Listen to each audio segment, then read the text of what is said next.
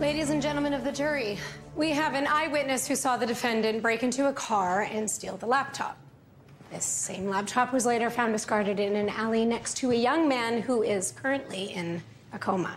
The defendant stole the laptop with the intent to sell. The sale went poorly, setting in motion a tragic chain of events. The defense is going to tell you a sob story about how the defendant has a bright future.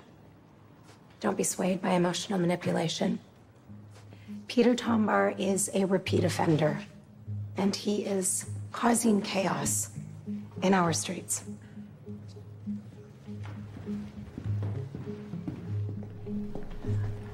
To be clear, my client has not been charged with any act of violence. Don't be confused by the DA's unfounded insinuations. This case is one on a docket of 142 for her. The prosecution is creating a fiction to make up for the fact that they have no hard evidence, which leaves plenty of room for reasonable doubt. Counsel, please approach the bench. Nice try framing my humanity as emotional manipulation. Not nice try undercutting my work ethic. Cheap and ineffective. Cheap is trying to tie my client to an assault he has no connection to. Are you two in a relationship? My clerk saw a new post from at Horseshoe Bays that says you two are dating. You're practically having a lover's quarrel out there.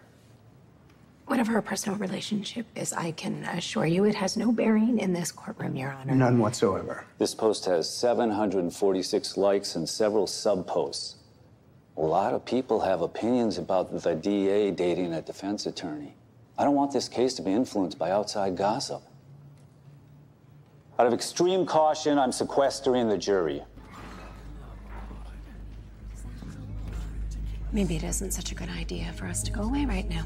I could not agree with you more. Carson, here.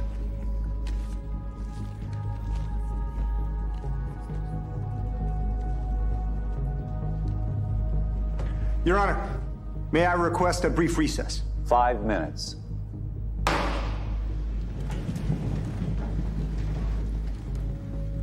I would have kept your secret about the restaurant safe.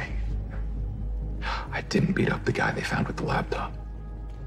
I knew him, but I, I, I didn't touch him. Don't worry, that's not what you're on trial for here.